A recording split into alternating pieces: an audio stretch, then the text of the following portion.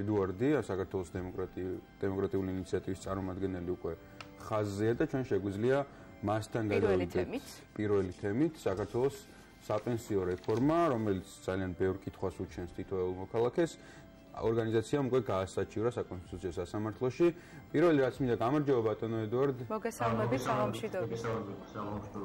პირველ რიგში რაც მინდა კითხოთ არის თქვენ მიმართეთ საკონსტიტუციო სასამართლოს მაინტერესებს პირველი რა იყო ის მთავარი დეტალი რამაც თქვენი პროტესტი გამოიწვია და გათქმევინათ რომ აი ეს უნდა გასაჩივრდეს საკონსტიტუციო სასამართლოში.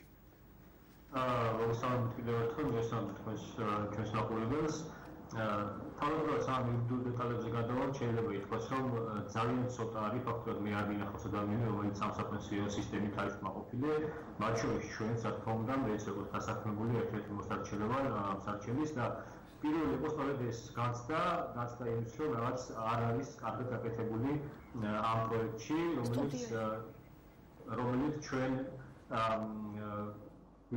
რომლა ჩვენ მიგვანიშნა იმისკენ რომ ეს ნორმები იყო რა კონსტიტუციური ზოგადად სისტემა დაფუძნებული არის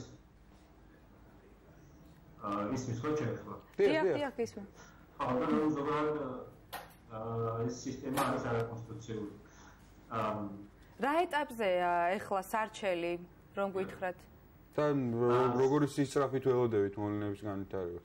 ბიახ სარჩელი დღეს გავაკეთე საკონსტიტუციო სამართლოში საკონსტიტუციო სამართლოს ამის სტაბილურად არ აქვს. გარდა იმისა, რომ ჩვენ ვითხოვთ არაკონსტიტუციურ ცნობა ზოგადად საპენსიო სისტემას აღიქვით ესე რომ ვთქვათ, მარტივად ჩვენი ბიზნესი არის, რომ არაკონსტიტუციური ცნობები სავალდებულო ჩართვის მექანიზმი ამ სისტემაში. ანუ მოქალაქეებს უნდა ჰქონდეთ თავისუფლება თვითონ გადაწყვეტონ ჩაითონ თუ არ ჩაითონ ამ სისტემაში და თვითონ სწორედ ეს სავალდებულო მექანიზმი არის არაკონსტიტუციური, ვინაიდან ის ეცნამდება კონსტიტუციით განაგებულ საკუთრების უფლებას. რაც შეეხება გარდა ამ მოთხოვნისა ჩვენ ასევე ვითხოვთ ამ საჩელი თანამდებობის შეჩერებას თუ საკონსტიტუციო დამოუკიდებლობის შეშუალებას ნორმები შეჩერდება რაზმობის მიღებამდე და უბრალოდ ეს ნორმები გააჩერებს საფინანსო სისტემას. თუმცა საკონსტიტუციო სასამართლოს გადაწყვეტილების მიღებამდე აქვს ძალიან ბევრი დრო, ანუ მინიმუმ 9 თვე, ხო? აა რა როგორ ვარაუდობ? თქვენ ჯერ არ ვიცით მიიღებს თუ არა წარმოებაში საერთოდ აი ამ სარჩელს და შემდგომ უკვე გადაწყვეტილების მიღებამდე ძალიან ბევრი დრო აქვს. თქვენ როგორ ვარაუდობთ? აი რა რა ელის ამ სარჩელს? რა თქმა უნდა ჩვენი როგორც მოსარჩელის პოზიცია არის ის რომ კარგად პროგრესებული აქვს მოსარჩელი და მიღებაზე პრობლემა არ უნდა იყოს და იმ შემთხვევაში, როდესაც ცხადხილვა და დასაშორების უნდა დასაშორება განიხილოს საკონსტიტუციო სამართლომ და იმ შემთხვევაში, როდესაც ჩეჩენების შუამდგომლობა არის ხოლმე დაყენებული, უფრო სწრაფად იხილავს, პრაქტიკა არის ესეთი და თვითონ ამ შემთხვევაში უფრო სწრაფად განიხილავს ჩვენს არჩევის შუამდგომლობას და თავად აგვაცილებს იმ ზიანს, რომელსაც თვითონ შეიძლება მიიღოს როგორც დამსახურებას, ასევე დასახურებას. აქ აქვე აქვე ჩავამატებ, რომ რაც არ უნდა დაჩქარებულად განიხილოს ყველა ქართველი ვინც ჩართული ვართ უკვე ამ პროგრამაში თუ რეფორმაში მოვასწრებთ მინიმუმ პირველი ორი გადახდის შეტანას და თუ თქვენ დაგიჯერებთ სახელმწიფო და გააუქმებს ამ რეფორმას მე ამ თანხას რა ბედი ეწევა? ამაზეც თუ გაქვთ ნაფი და გიქნება თავი ამ თანხის განკარგვა კიდევ ცალკე განხილვის თემა გახდება მე როგორც ვარაუდ ან უბრალოდ ეგ არის ჩვენი შეჩერებული შემდგომი საფუძველი რომ იმ შემთხვევაში თუ იმიან ზიანი იმედ მაღალია იმ შემთხვევაში საკონსტიტუციო სასამართლო არაკონსტიტუციო ნორმები უკვე გადახდილი თანხის დაბრუნების შესაძლებლობა ფაქტურად დამსახურების შემთხვევაში შეუძლებელია ხოლმე დასაქმებული უნდა დაიწყოს ისო საპენსიო ასაკსო შემდეგ საპენსიო ასაკის დროს აიღოს ეს თანხა და გაიხსნას ის ანგარიშები რომელიც ამ და ამ თვითონ უკვე გახსნილია ეს ესე გებია მოკლედ ესეთი კითხვა მინდა დაგისვათ. თქვენ სარჩელში საუბარი არის საპენსიო შენატანზე როგორც გადასახადზე ხომ? ჩვენ ვიცით რომ გადასახადების დაწესება ჩვენს ქვეყანაში აკრძალულია და მხოლოდ რეფერენდუმის საშუალებით არის შესაძლებელი. როგორ აპირებთ რომ დაარწმუნოთ აი საკონსტიტუციო სასამართლო შემადგენლობა? მთლიანად რომ ეს არის გადასახადი ამ ამ რეფორმით პრინციპში გადასახადის ფორმა ექნება საპენსიო შენატანს და რეალურად ეს არის ზრდა გადასახადის და არა რაღაც პენსიის დაგროვება და ასე შემდეგ, რომელსაც გაურკვეველი ბედი აქვს ჯერჯერობით. ძალიან ესეთი ნათელი იყოს ჩვენი პოზიცია. დღეს გაჩერდა სახელმწიფო ხილას თქოს ჩვენ ვიტყოთ იმას რომ ვასაუბროთ იმას რომ დასაქმებულის მხრიდან გადახდილი შენატანი არის გადასახადი. არა ჩვენ ვფიქრობთ რომ დასაქმებულის მიერ გადახდილი 2% არის გადასახადის ბუნების მატარებელი მიუხედავად იმისა რომ კონსტიტუციაში პირდაპირ ჩაწერეს რომ საფოსტო შენატანი არ არის გადასახადი ჩვენ ვფიქრობთ რომ თუ საკუთარ სამართლო ზოგადად სახელმწიფო არ განიხილავს დამსახურების მიერ გადახდილ პროცესს გადასახადად, მაშინ სხვა სახელმწიფოს არ აქვს სხვა უფლება, რომ გადასახადის მიღმა ამ შემთხვევაში დამსახურებას აიძულოს დაუსაკუთრების დათმობა. ამიტომ თუ გადასახადი გადასახადი თუ არ განიხილება, მაშინ ეს დამსახურებისთვის არის ფაქტობრივად საკუთრების ჩამორთმევა და ჩამორთმევა იმ მიზნებით, რომელიც არის კონსტიტუციაში დაწერილი. ანუ კონსტიტუციაში დაწერილი არის მხოლოდ ერთი მიზანი საკუთრების შეზღუდვის, ეს არის საჯარო ინტერესი, ლეგიტიმური საჯარო ინტერესი, ზოგადად რაღაც ისეთი საჯარო სიკეთე, რომელიც შეიძლება შეიზღუდეს საკუთრება, ამ შემთხვევაში მსგავსი საჯარო მიზნის მიღწევის მიზნები არ აქვს სამსახურისო რეფორმას და თვითონ სწორედ ამიტომ არაკონსტიტუციური მიზნებით საფუძვლებით იზღუდება ჩვენი სამსახურის ჩვენ საკუთრება და ამიტომ არაკონსტიტუციური ეს ერთი მიმართულება ეს ნოქ ჩვენს არჩევნში და ჩვენ ამ ამ სარჩელის ფარგლებში შეგვიძლია გამოვყოთ ფაქტები, რომლებსაც ვაპროტესტებთ, იმიტომ რომ არაკონსტიტუციურია მოქალაქესთან მიმართებით და ფაქტები, რომლებიც შეგვიძლია გამოვყოთ, იმიტომ რომ არაკონსტიტუციურია დამსაქმებელთან მიმართებით.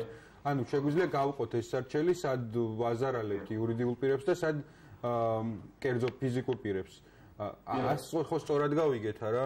კი, კი, სწორად ესე არის საწყობილი ჩვენი სარჩელი, ვახლა შეიძლება დასაქმებულის მხრიდან მისი აა 2%-ის გადახდას და აქ ჩვენ სხვა არგუმენტები ვქოთ და დასაქმების შემთხვევაში სხვა არგუმენტები. ანუ დასაქმების შემთხვევაში ერთ-ერთი ძირითადი არგუმენტი არის ის, რომ სახელმწიფო არ არის უფლებამოსილი და არ აქვს მას ეს უფლებამოსილება, რომ ჩვენ საკუთრება შეგვიზღუდოს ჩვენი კეთილდღეობისთვის ამ დღეს სახელმწიფო გონებრო თქვენ ხომდეთ უზრუნველი საპენსიო ასაკი და პენსიაზე გადაგახურეთ და უზრუნველყოფის ხოლმე ამისთვის უნდა თქვენ დააგროვოთ იზოლებით თანხა. ანუ ეს ჩვენი პირადი კეთილდღეობა არ შეიძლება გამოდგეს ჩვენივე საკუთრების შეზღუდვის ლეგიტიმურ მიზნად ასე ვთქვათ სამართლებრივად ასე ამ ყველაფერს. კიდევ კიდევ ერთი კითხვა რაც მინდოდა დამესვა საკუთრების უფლებასთან დაკავშირებით გასაგებია, მაგრამ საუბარი თქვენსავე სარჩელში საუბარი არის იმაზე, რომ სახელმწიფო არ უდგება არაყენებს თანაბარ პირობებში სოციალური ნიშნით დისკრიმინაციას ახდენს ადამიანების, ესეც რომ უფრო ნათლად განმარტოთ, იმიტომ რომ თითქოს 2%-ია ორივესთვის და მაშინ რაში გამოიხატება სახელმწიფოს მხრიდან არათანაბარი მიდგომა. ან მოქალაქეობის ნიშნით დისკრიმინაციას დავაყოთ ჩვენ ამ შემთხვევაში და თქვით რომ თქვით რომ ეს საფინანსო სისტემა არ არის დაფუძნებული თანხმობის პრინციპებზე და სახელმწიფო არ ითვალისწინებს ადამიანების ქონებრივ მდგომარეობას მათი პენსიაზე გასვლის მომენტისთვის. ანუ მარტივად ვთქვათ, ვიდრე უფრო მეცაგებელს იღებენ ამ საფინანსო რეფორმას, ვიდრე არ იღებენ. და ზოგადად სტანდარტი არის ის, რომ სახელმწიფო ბიუჯეტი უნდა განაწილდეს თანაბრად, თუმცა ასევე თონასწორების მიმართ, ანუ ამ შემთხვევაში სოციალური გაუცვლელების მიმართ და იმ ადამიანების მიმართ, ვისაც მეტი მაღალი ქონებრივი მდგომარეობა აქვს, სახელმწიფოს მიდგომა და ბიუჯეტის თანხები უნდა განაწილდეს არათანაცვლოდ. ანუ ვისაც მეტი საჭიროება, მეტი უნდა მისცეს სახელმწიფო ბიუჯეტიდან, და ვისაც ნაკლები საჭიროება, მას არ უნდა მისცეს. ანუ ამ შემთხვევაში სახელმწიფო კი ერთ-ერთ პროცენტს ვაჭრის. აა მაგრამ იდეაში გამოდის რომ ვისაც მეტი აქვს ვისაც მეტს ვიმატებს სახელმწიფო 2%-ს, ხო? ხელფასი, მაგრამ ვისაც მეტი ხელფასი აქვს, ის 2% მეტი გამოდის, ვისაც ნაკლები აქვს, ნაკლები გამოდის და საბოლოო ჯამში ეს თანხები განაწილდება რა და ეს არის ჩვენი პოზიცია თანხების ნაწილში. ბატონ ედვარ, თუ როგორ ფიქრობთ, თუ დაგიჯერათ თქვენ სასამართლომ, რა შედეგი მოყვება აი ამ ღირსეულ პენსიას გვართმევთ და საწავა ამ დროისთვის უკვე გადახდილი თანხა თუ საკონსტიტუციომ ეს რეფორმა შეაჩერა? თქვენ როგორ ფიქრობთ? ნაწილობრივ პრინციპში ამაზე თქვენ უკვე ისაუბრეთ, მაგრამ უფრო დეტალურად რო გითხრათ, ალბათ სარჩელზე მუშაობის პროცესში თქვენ გეკნებოდათ ეს დეტალებიც გათვალისწინებული, ხო? აა ან რაც უფრო მომიში შეიძლება ეს პროცესი მით უკეთესი იქნება დანაწილებით.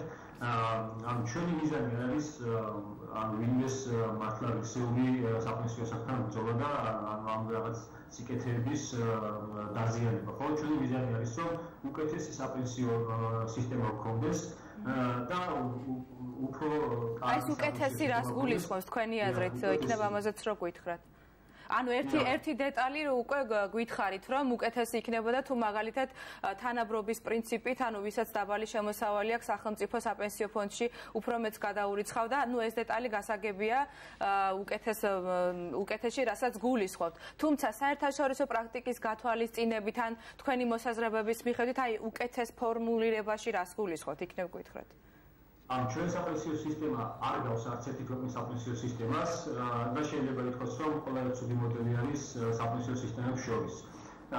არსებობს რა თქმა უნდა სავალდებულო საპენსიო სისტემები დაბრუნებითი, თუმცა ესენი მუშაობს იმ ქვეყნებში, სადაც ეკონომიკა არის საკმაოდ ძლიერი და მაღალი შემოსავალი არის. ანუ უკეთესი იქნება პირველ რიგში ნებაყოფლობითი იყოს ეს ყველაფერი და მოქალაქეებმა თვითონ აიღონ თავიანთ თავზე რისკი და თუ სახელმწიფო მართლა არგ მექანიზმს ქმნის, მაშინ დაარწმუნოს მოქალაქეები იმაში, რომ აქ გაწევრიანება კარგი არის, ხო? ანუ ზოგადად იძულების მექანიზმი შემოიტანეს იმიტომ ამ პენსიო სისტემაში, რომ პირდაპირ არის გაცხადებული მიზანი სახელმწიფოსი, რომ მოქალაქეებს აქვს უარყოფითი გამოცდილება წასulis მაგალითად ანალოგიურ მიმართებაში და მოქალაქეები თავიანთი ნებით არ გაწევრიანდებოდნენ ამ პოლიტიკაში. თუმცა სახელმწიფოს არ არ უნდა აღიაროს ის, რომ შეიძლება ჩვენი სკეპტიციზმი ამ პოლიტიკასთან მიმართებაში მართლა ლეგიტიმური იყოს, ხო? ანუ შეიძლება ადამიანები ხო არსებობს რაღაც ერთიანი ბონი, რომ ადამიანები ბონიურები ბონიურულად გადაწყვეტილებას იღებენ და სწორედ ამ ბონიურობის აღიარება უნდა შემთხვევაში სახელმწიფოს, ხო? თუ თუ ესეთი კარგი არის, მაშინ მისცემ დაგაყოფილი გაწევრიანების უფლება და მეორე მხარე რაც არის სამის და სამშეის და სამოქალაქო გლოს კარგად ეს არის ის რომ რეალურად ეს საპენსიო სისტემა ვერ აღწევს იმ მიზნებს რისთვისაც იქმნება ანუ არ ხედავთ ჩვენ პრობლემას ხო? რომ პრობლემია რომ მაგალითად უნდა გაიზარდოს ჩანაცვლების კოეფიციენტი ჩანაცვლების კოეფიციენტი გულისხმობს რომ ჩვენი პენსიის ხელფასი უნდა ჩანაცვლდეს უფრო მაღალი პენსიით მაშინ როდესაც არსებობს შესაბამისი ექსპერტების დასწრები და მოსაზრებები რომლებიც მართლა რეალურ გასტასპორებს იმისა, რომ და რეალურ შესახებ შედეგებს ვანახებს იმისა, რომ რეალურ ჩანსკობის კოეფიციენტი არის იზრდება, რადგან სიზრდება 30 წლის შემდეგ. ანუ ჩვენ ვერ შეძლებს იმ ფაქტის აღებას, რომელიც რომელსაც პირდებია. ხო, ანუ თუ ავიღეთ ცოტა ცოტა დრო დაგვრჩა და ერთი კითხვაც მინდა დაგისვათ. ზოგადად როგორ თვლით რომ თქვენ საუბრობთ იმაზე რომ მოქალაქეები უკმაყოფილოები არიან თქვენ საუბრობთ იმაზე რომ ეს შეიძლება იყოს საერთოდ არაკონსტიტუციური მუხლით მაშინ თქვენი აზრით საერთოდ რა მიზანი აქვს ამ საპენსიო რეფორმას და რატო ცდილობენ მავანი რაღაც ძალით გაიტანონ და მოგვახდინონ თავზე? აი ეს ერთი მიზანი ალბათ ჩემი აზრით სახელმწიფო ცდილობს რომ დააგროვოს დიდი კაპიტალი შექმნას ფულის მასა გააჩინოს და ეს ფული ჩაუშვას შემდეგ გარკვეულ სეგმენტში ბიზნესის. თუმცა დღემდე გაუგებარი არის და არ არის გაწერილი სადაპირებენ ამ ფაქტის არა, ისტორიული გამოცდილება ზოგადად დაბადების საფასო სისტემების თემსოფლიოში მეტად უარყოფითი არის მეცილად, ანუ მაგალითად პოლონეთის შემთხვევაში, რამდენიმე წლის წინ პოლონეთის სახელმწიფო დაახლოებით 50 მილიარდი დოლარის დანაზოგი მოხსნა კერძო პირების საკუთრებიდან და შიდა ვალის დაფორმას მოახმარა. ასევე მოხდა ძალიან სხვა რამდენიმე სხვა ქვეყანაშიც. ამიტომ მიზანი ამაფარი დაგროვება მასის შექმნა ფულის თუმცა ეს არ არის კარგად გათვლილი ჩვენი აზრით და იმ შედეგებს ვერ აღწევს. დიდი შედეგებისთვის პირდებია რომ უნდა გაკეთდეს ეს საპენსიო სისტემა. ბატონო ედვარდ, ძალიან დიდი მადლობა რომ იყავით ჩვენი სტუმარი. ბევრი კითხვა დარჩა, ბუნებრივია, ჩვენ დაველოდებით მიიღებს თუ არა საკონსტიტუციო სამართლო წარმოებაში თქვენ სარჩელს და როგორ განვითარდება მოვლენები. მაყურებელს შევახსენებ, ჩვენი სტუმარი იყო და ჩვენს კითხვებს პასუხობდა საქართველოს დემოკრატიული ინიციატივას წარმომადგენელი ედვარდ მარიკაშვილი.